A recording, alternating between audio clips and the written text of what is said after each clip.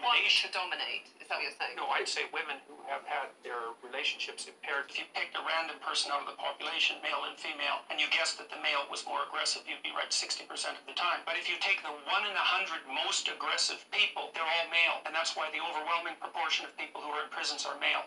And men men work more longer hours. They work more dangerous jobs. They're more likely to move. They're more likely to work outside. They're more likely to participate in jobs in the STEM fields that are scalable. They make more money for those reasons, and that's all hidden under the idea that the reason that men and women make different amounts of money is because of their gender. It's a very simplistic analysis. Men and women actually are more the same than they are different. But the issue is, is that part of the way, way that women solve the problem that you're just describing, and I'm, I'm not saying anything for this or against this, this is a purely factual biological claim, is they pick a Well, that- monogamous marriage That's and what they I'm cheat with high status guys.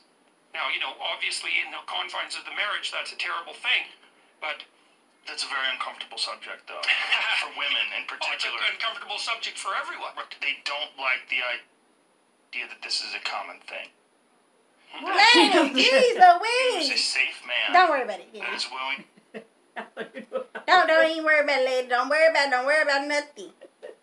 Say what you gonna say for you forget you I old. didn't know what I was saying. Hey, say what you gonna say for you I don't know. That's why I started laughing. I was just thought like he, like you say, he sound like a robot. Like Why you make a robot? really. Matter of fact, women, maybe- they- uh, Sound like it's just This something girl, going in his head and then uh, somebody they- press they- play. The window walls are so big. I don't know what. I can't stand the right. Also, also my uh, no, you uh,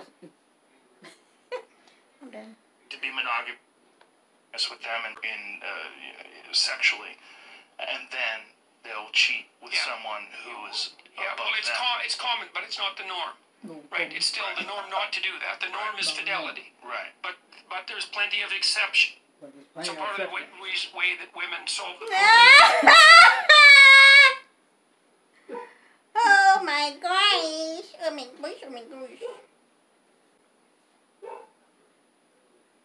Dog barking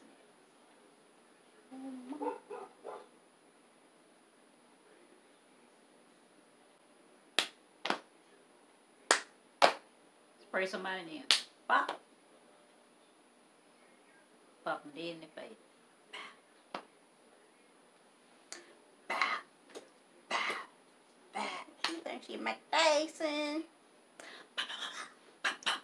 She. It's Lady, you in the Holyfield. Women want Jeez. deeply men who are competent and powerful.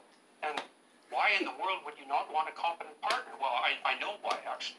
You can't dominate a competent partner. So if you want Women want domination, to dominate. Is that what you're saying? no, I'd say women who have had their relationships impaired with their relationships with men impaired, who are afraid of such relationships, will settle for a weak partner because they can dominate.